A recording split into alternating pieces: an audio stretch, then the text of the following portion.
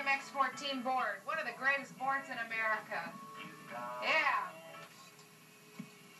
James Taylor on KFI AM 640. This is Nancy Plum, and this is the Affection Connection Saturday night here in Southern California, and it is fantastic. We connect the single people of Southern California to, you know, seem tired of the same old crowd and kind of want to break out a little bit meet somebody new.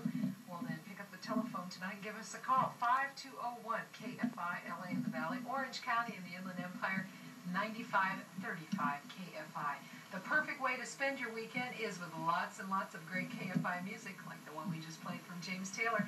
We also have traffic reports all weekend, plus constantly updated weather. A great companion for a great Southern California weekend. We're KFI AM 640.